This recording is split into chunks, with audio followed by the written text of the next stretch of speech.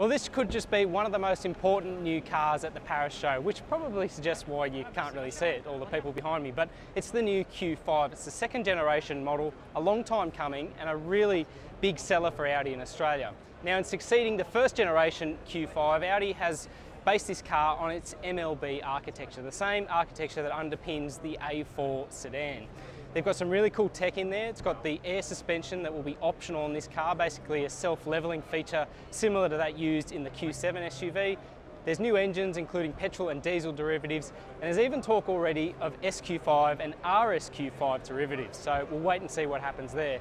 But this car is definitely lighter than before, it's up to 90 kilograms lighter in curb weight. It has some of Audi's newest technology inside the cabin including its very tricky virtual cockpit display. Expect to see the Q5 come online in Australia from mid 2017. It's going to be very interesting to see how this thing steers.